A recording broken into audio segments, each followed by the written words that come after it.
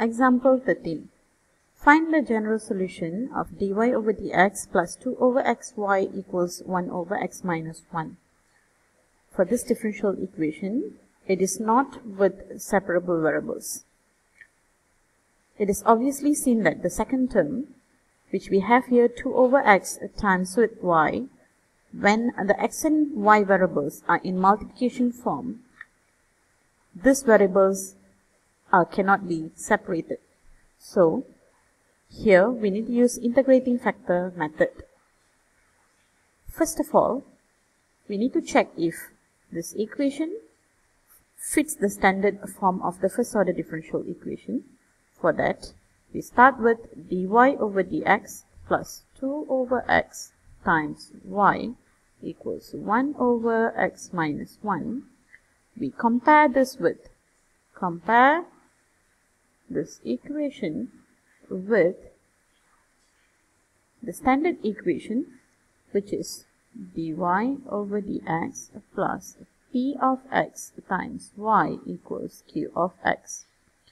So, here we go, where we have dy over dx as the derivative with coefficient 1. That's good enough. Next, we have y as the dependent variable. So in the second term, we have y here.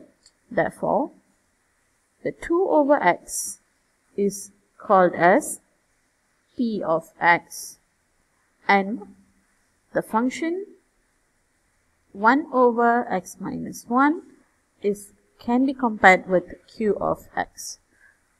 So now we can conclude that p of x is 2 over x as coefficient of y as we seen here and q of x is 1 over x minus 1.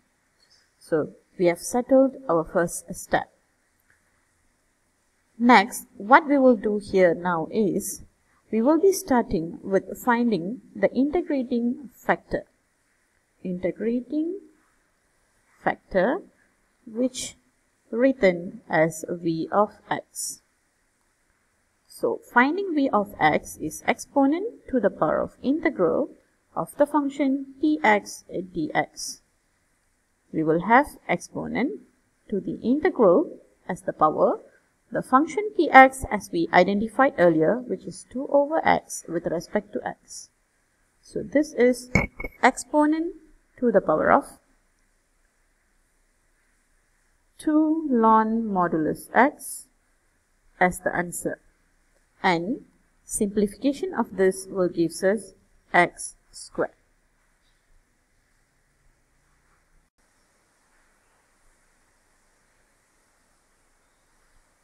Now, if you still remember, our next step must be multiplying the Vx with the current differential equation which is already examined if it is in standard form. So, we're going to multiply v of x with the dE. Every single terms of the differential equation must be multiplied with vx.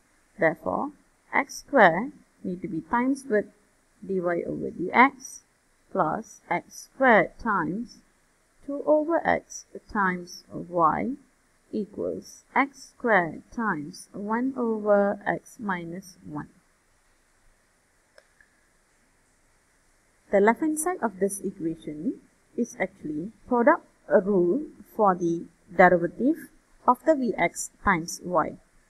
So, we can combine or simplify the left hand side of the equation as d over dx Vx times y equals to the right hand side of the equation which is still x square over 1 minus 1 over x minus 1.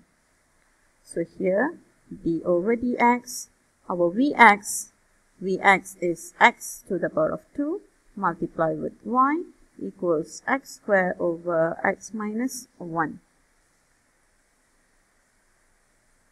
Next is the integration. Next is the integration.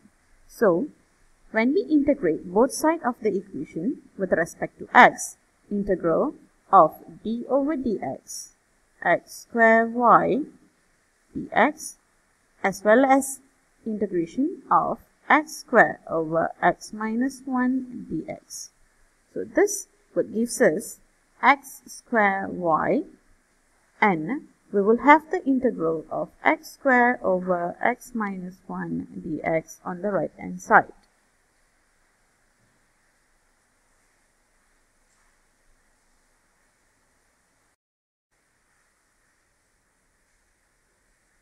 Now, in order to proceed further, for this question, we need to integrate the function x square over x minus 1. So first, we examine x over x minus 1. x over x minus 1 is an improper function. This improper fraction need to undergo long division. So if we perform long division for this question, we will have x square plus 0x plus 0 divided by x minus 1 as the divisor. So here x if multiplied with x minus 1 will gives us x square minus x.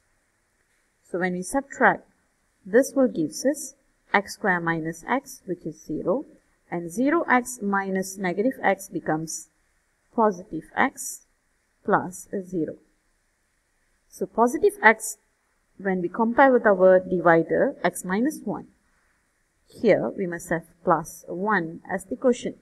So 1 times x minus 1 will be x minus 1 and if we subtract this we will have 1 as the remainder.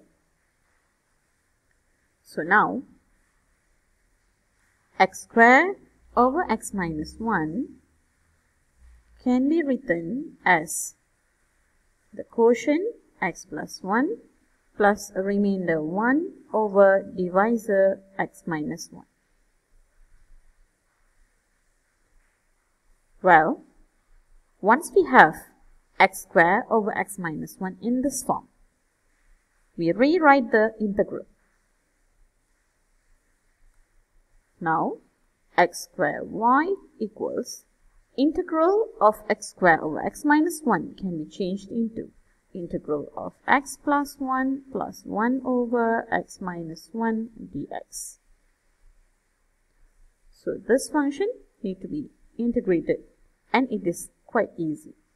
So x square of y equals integration of x is x square over 2 integration of 1 is x plus 1 over x minus 1 is ln modulus x minus 1. Do not forget the constant c.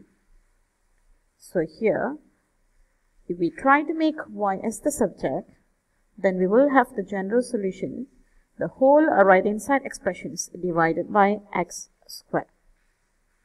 Then we will have y equals 1 over 2 plus 1 over x plus ln modulus x minus 1 over x squared plus c over x squared as the solution.